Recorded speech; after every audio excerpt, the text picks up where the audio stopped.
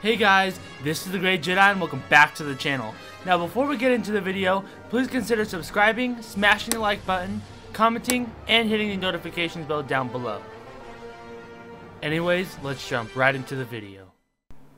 So today we just have a couple bits of news to go over.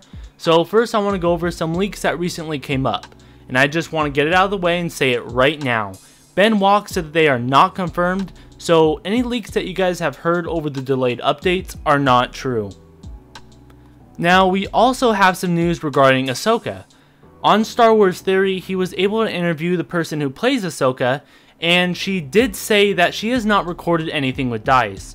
So if you guys do want to see that entire full interview with her, I will post it down in the description down below.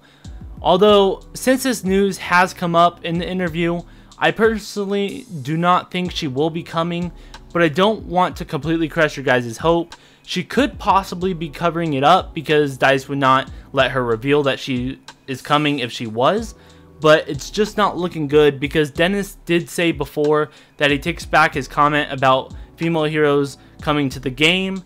Um, and if any more information does come out regarding Ahsoka, I'll for sure be covering it on the channel.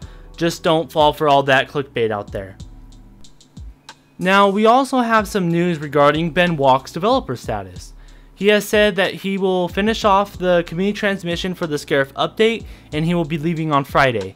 And he's already spending 80 to 90% of his time being a producer. Now for some really exciting news, as you guys all know, we just got through having a double XP event all month uh, due to the epidemic. Forge did confirm that double XP will continue every day because of the epidemic.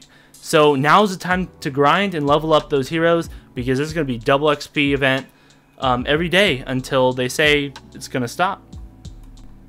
Anyways, that does it for this news update video. If you did enjoy it, please consider subscribing and smashing that like button down below, as well as commenting what heroes you're planning on grinding while the double XP is active.